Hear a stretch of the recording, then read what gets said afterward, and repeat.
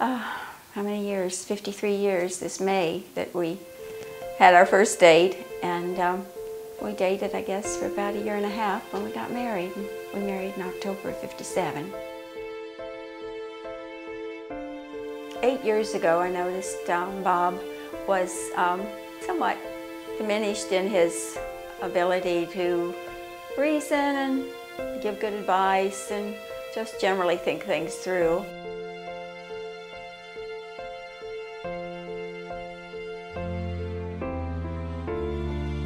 And slowly, you know, I guess really on vacation, we realized that it was something more serious when he got in the car at the airport and couldn't remember how to drive.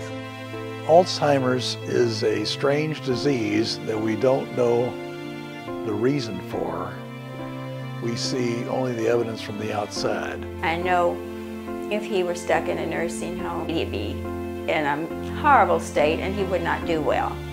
So I'm willing to push, pull, prod, do whatever I have to to keep him going. It's a tribute to his wife taking care of him this long.